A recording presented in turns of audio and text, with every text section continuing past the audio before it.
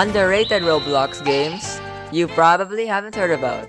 Generic Cooking Game. Generic Cooking Game is a fun multiplayer game where teamwork isn't really needed, but instead, chaos.